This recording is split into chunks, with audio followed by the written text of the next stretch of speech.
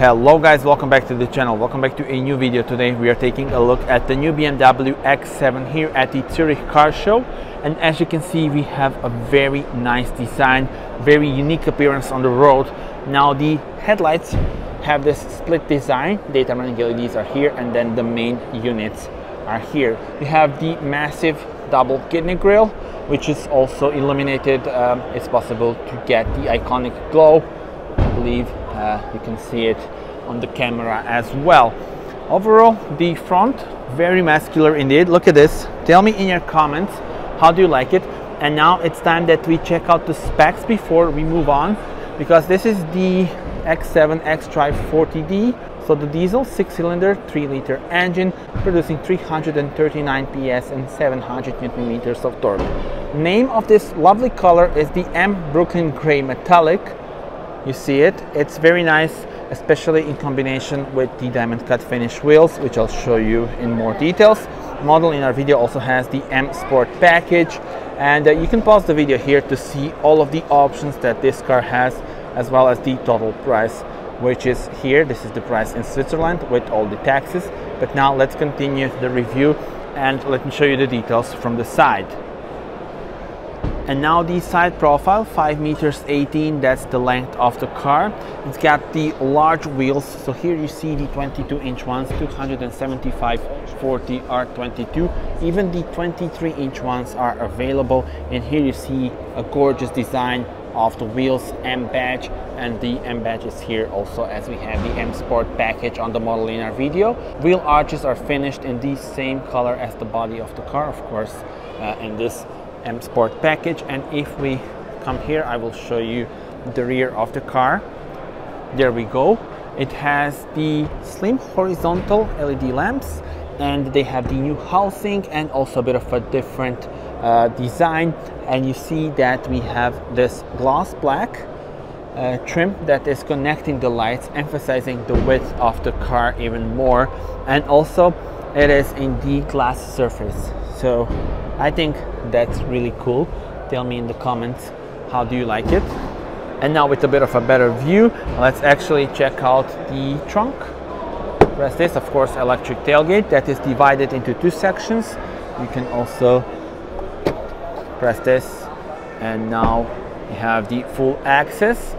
You see that this car actually has the six seat layout, two seats in the second row and then the two seats here what you can do is you can pull them back like this. We will actually do it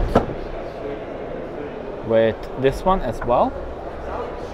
There we go. Now how cool is that? Press this. It closes. And you can also press this. And now you will see there we go. And you get the 12 volt power supply in here as well. And press this again in order to close this. And uh, yeah well you also see that this car has the real exhausts on both sides. So that's really cool and something that you don't often see. And now look at the layout here. Very nice. And this car is really huge.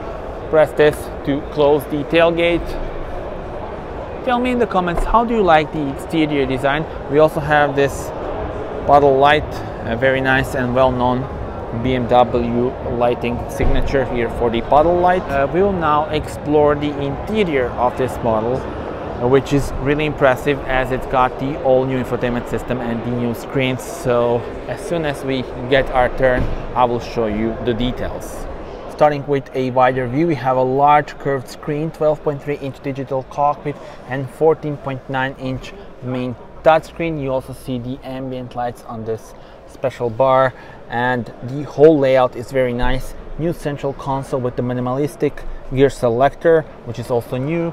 And uh, yeah, well, let's change the view and let me show you more details. And this is the new 14.9 inch main touchscreen with the new BMW operating system 8 I will go through the details in a moment. Let me just show you the central console here.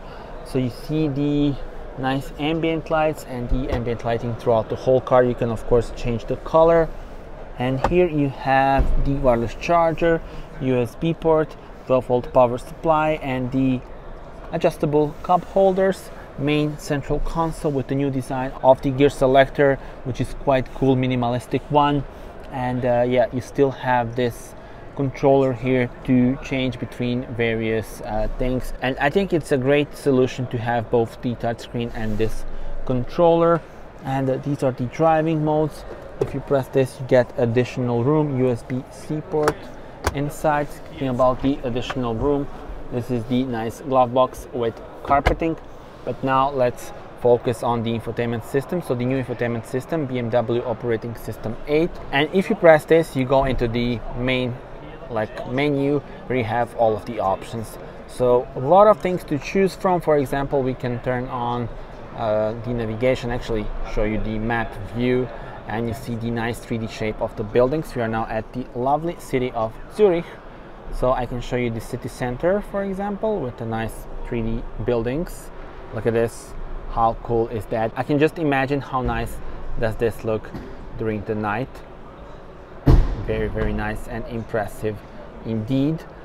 Now we can also press the home menu and change between the widgets here. So you see you can actually customize this and add your widgets depending on what you use the most.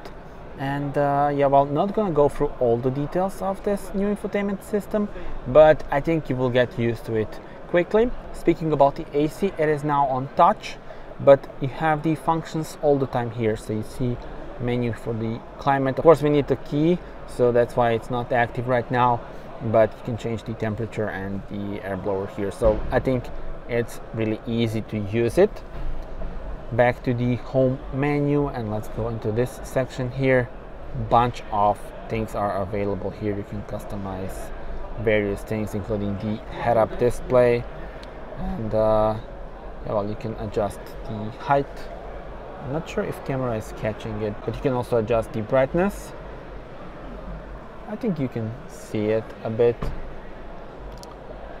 And uh, yeah well instrument cluster and control display all can be adjusted in here. And back to this home menu let's actually check out the my modes which you can change also here. So sport. Look at this when you change this the whole ambient light and the layout here changes. Comfort once again eco pro. I love this blue. It's very nice calm and relaxing. And uh, yeah well you can also uh, change and actually configure the individual mode. So you can configure the damping steering drivetrain and uh, yeah well can then adjust this. Sport sport plus sport individual and then configure the individual. So I think that's pretty much it. Not gonna go through all the details of this new infotainment system. And here is where you can see that we also can change the content that we see in front of us. For example the navigation and stuff like that. We also change the various things in the head-up display. I think you can see it right now a lot of information here available as well. So let's put the navigation view for example here in front of us. Tell me in the comments how do you like the interior? And now it's time that we check out the rear bench. A bit over 3.1 meters is the length of the wheelbase. And let's jump here at the back. Massive doors nice ambient lights. And you see we have the two seats so look at this i'm really comfortable in here uh, the front seat is adjusted for my comfortable driving position. This is the lovely view on the front.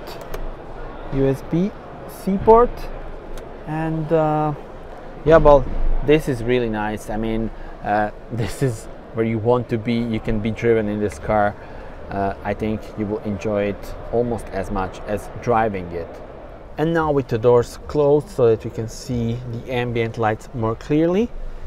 And here in the middle you have the X7 lettering adjustable cup holders 12 volt power supply two USB-C ports.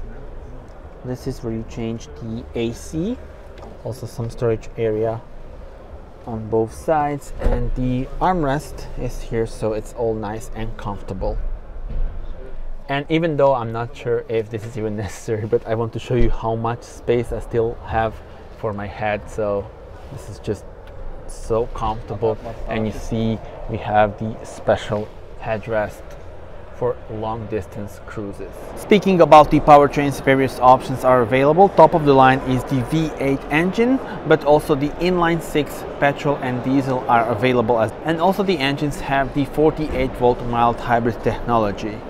And that's it for now. Thank you very much for watching this video. Do subscribe to the channel as there will be plenty of more to come and see you on the next one. Bye bye.